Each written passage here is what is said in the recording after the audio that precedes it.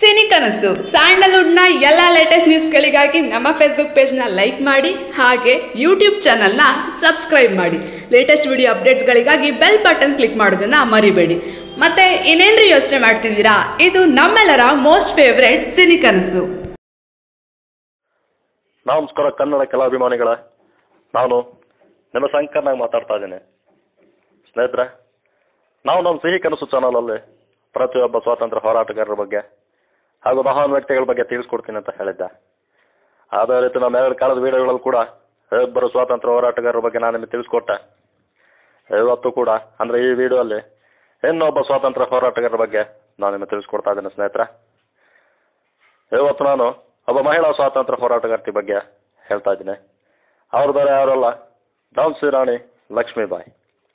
ಇವರು ಕೂಡ ನವೆಂಬರ್ ತಿಂಗಳಲ್ಲೇ ಜನಿಸಿರೋದು ಸ್ನೇಹಿತರೆ. ರಾಣಿ ಲಕ್ಷ್ಮೀಬಾಯಿ ಅವರು ಹತ್ತೊಂಬತ್ತು ನವೆಂಬರ್ ಸಾವಿರದ ಎಂಟುನೂರ ಇಪ್ಪತ್ತೊಂಬತ್ತರಲ್ಲಿ ಕಾಶಿಯಲ್ಲಿ ಒಂದು ಬ್ರಾಹ್ಮಣ ಕುಟುಂಬದಲ್ಲಿ ಜನಿಸ್ತಾರೆ. ಮಣಿಕರ್ಣಿಕ, ಇದು ಅವರ ನಿಜವಾದ ಹೆಸರಾಗಿರುತ್ತೆ ಸ್ನೇಹಿತರೆ. ಅವರನ್ನ ಎಲ್ಲರೂ ಪ್ರೀತಿಯಿಂದ ಮನು ಅಂತ ಕರಿತಾ ಇರ್ತಾರೆ.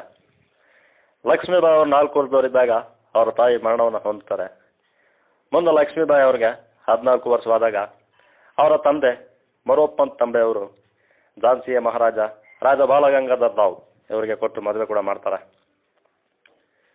ಸಾವಿರದ ಎಂಟುನೂರ ಐವತ್ತೊಂದರಲ್ಲಿ ಲಕ್ಷ್ಮೀಬಾಯಿ ಅವರು ಒಂದು ಗಂಡು ಮಗುವಿಗೆ ಜನ್ಮವನ್ನು ಕೊಡ್ತಾರೆ.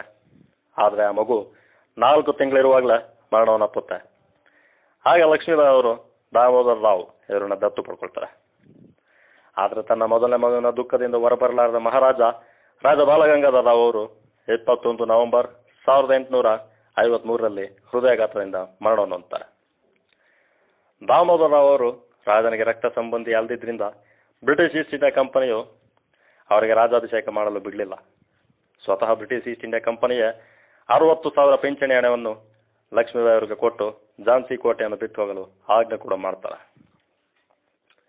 ಸಾವಿರದ ಎಂಟುನೂರ ಐವತ್ತೇಳರಲ್ಲಿ ಭಾರತದ ಪ್ರಥಮ ಸ್ವಾತಂತ್ರ್ಯ ಸಂಗ್ರಾಮ ಪ್ರಾರಂಭವಾಗುತ್ತೆ. ಅದು ಇಡೀ ಭಾರತದಾದ್ಯಂತ ಹರಡುತ್ತೆ ಸ್ನೇಹಿತರ. ಇದೇ ಸಮಯದಲ್ಲಿ ಬ್ರಿಟಿಷರಿಗೆ ದೇಶದ ಇತರೆ ಪ್ರದೇಶಗಳ ಬಗ್ಗೆ ಹೆಚ್ಚು ಗಮನ ಹರಿಸಬೇಕಿದ್ದ ಕಾರಣ ಝಾನ್ಸಿಯನ್ನ ರಾಣಿ ಲಕ್ಷ್ಮೀಬಾಯಿ ಅವರ ಆಳ್ವಿಕೆಗೆ ಬಿಟ್ಟೋಗ್ತಾರೆ ಲಕ್ಷ್ಮೀಬಾಯಿ ಅವರ ನಾಯಕತ್ವದಲ್ಲಿ ಝಾನ್ಸಿಯಲ್ಲಿ ಶಾಂತಿ ಹಾಗೂ ನೆಮ್ಮದಿ ನೆಲೆಸುತ್ತೆ. ಅವರೊಬ್ಬ ಉತ್ತಮ ನಾಯಕಿ ಅಂತ ಬ್ರಿಟಿಷ್ ಈಸ್ಟ್ ಇಂಡಿಯಾ ಕಂಪನಿ ಸಹಿತ ಝಾನ್ಸಿಯ ಪ್ರಜೆಗಳಲ್ಲಿ ನೆಲೆಯೂರಿ ನಿಲ್ತಾರೆ. ರಾಣಿ ಲಕ್ಷ್ಮೀಬಾಯಿ ಅವರು ಸ್ವತಃ ಸೈನಿಕರ ನಡುವಿನೆಲ್ಲ ಓಡಾಡಿಕೊಂಡು ಅವರನ್ನು ಹೊರದುಂಬಿಸಿ ಬಹಳ ದಿಟ್ಟತನದಿಂದ ಹೋರಾಡಿದ್ಲು. ಹೀಗೆ ಒಂದಿನ ಬ್ರಿಟಿಷ್ ಸೈನಿಕರು ಝಾನ್ಸಿ ನಗರವನ್ನು ಮುತ್ತಿಗೆ ಹಾಕ್ತಾರೆ. ಅದೇ ಸಮಯದಲ್ಲಿ ರಾಣಿ ಲಕ್ಷ್ಮೀಬಾಯಿ ಅವರು ಕೋಟೆ ಗೋಡೆಯನ್ನು ರಾತ್ರಿಯಲ್ಲಿ ತನ್ನ ಕೆಲವು ಮಹಿಳಾ ಸೈನಿಕರು ಹಾಗೂ ರಕ್ಷಕರ ಜೊತೆಗೆ ಸೇರಿ ತಪ್ಪಿಸಿಕೊಳ್ತಾಳೆ. ತನ್ನ ಮಗ ದಾಮೋದರರಾವ್ ಜೊತೆಗೆ ಕಲ್ಪಿ ಎಂಬಲ್ಲಿ ತಲೆಮರೆಸ್ಕೊಳ್ತಾಳೆ.